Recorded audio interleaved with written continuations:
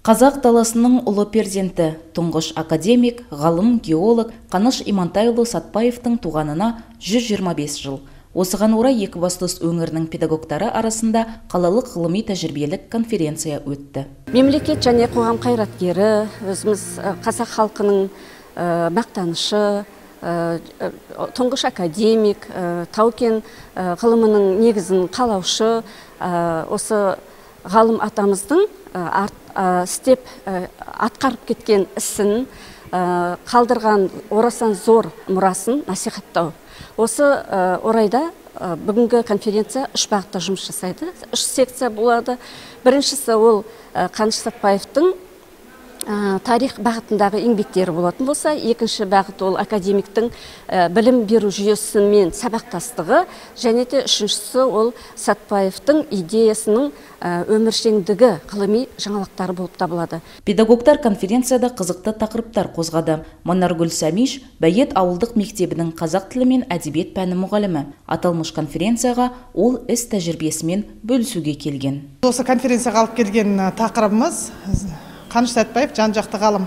Біз бұл тақырыпта екі түрлі бағытты алып отырмыз. Қаныш сәтбаевтың екі түрлі қырын біреуі өзіміздің ауылды жанап өтетін ертіс және қарағанды каналы туралы. Екіншісі халыққа беймәлім көп халық біле бермейтін қаныштың ән әнші қанышты әкеліп отырмыз. Яғни қаныштың әншілікте қыры бар. Ол кісі жиырма шақты жиырма бес өлеңді жатқа біліп ол затаевичтің бес жүз өлеңдік қорына енген өлеңдер болған. Яғни оның ішінде халық әні жаяу мұсаны және баянауылдың атақты ақындарының әндері болған. Осы тақырыпты біз бүгін қозғамақпыз. Нұрзада мұхаммед солнечный кентінен келген мұғалім. 15 жылдың көлемінде тәжірибесі бар білікті ұстаз оқыту барысында қолданатын әдістері жайлы айтып берді. Бүгінгі конференцияда менің қорғайтын тақырыбым тарих сабағында қаныш сәтбаевтың тарихи еңбектерін оқытудың тиімді әдіс тәсілдері. Яғни осы конференцияға келгендегі менің мақсатым соны сол кісінің жаңағы тарихи тарих бағытындағы еңбектерін балаларға оқытуда біз қандай тиімді әдіс тәсілдерді қолдана аламыз соны өз әріптестеріммен бөлісу тәжірибемді тарату мақсатында бүгінгі конференцияға келіп отырмын.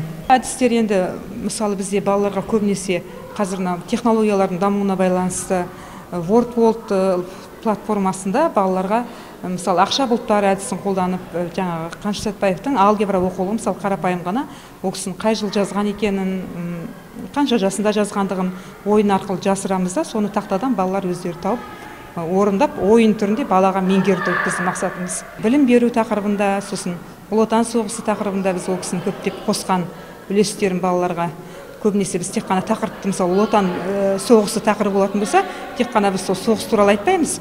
Ол соғысқа мысалы қазақ зиялыларынан кім қаншалықты үлес қосты?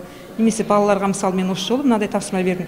Үйде осы ұлы отан соғысына жеңуімізге бір әсер еткен қазақ тұлғалары туралы мәліметтер алып келіңдерші бір интернеттен ба тауып келіңдер деп стоп кадр деген бұл әдіс. Сонда сегізінші сыныптың балалары маған жаңағы қазақтардың ішіндегі ұлы адамдардың құпия тағдыры деген бағдарламаны алып келіп өздері қорғап стоп кадр жаңағы кадр тоқтатып ары қарай өздері жалғастырып сөйтіп тақырыпты біз байланыстырып балаларға оқыту мақсатында бір ғана тақырыппен қазір шектелмейміз. Өйткені балалардың қазір өздеріңіз білесіздер көз дамуы көзқарастары басқаша дегендей сондықтан үнемі баламен бірге дамуға тырысамыз. Ұлтының ұлы перзенті атты қалалық ғылыми тәжірибелік конференцияға қырықтан астам білім мекемелерінің ұстаздары қатысты. Педагогтар өз іс тәжірибелерімен бөлісіп тақырыптың өзектілігін ашты зерттеу жұмыстарының нәтижелерін ұсынды. Қорытындысында барлық қатысушыларға сертификаттар табысталды.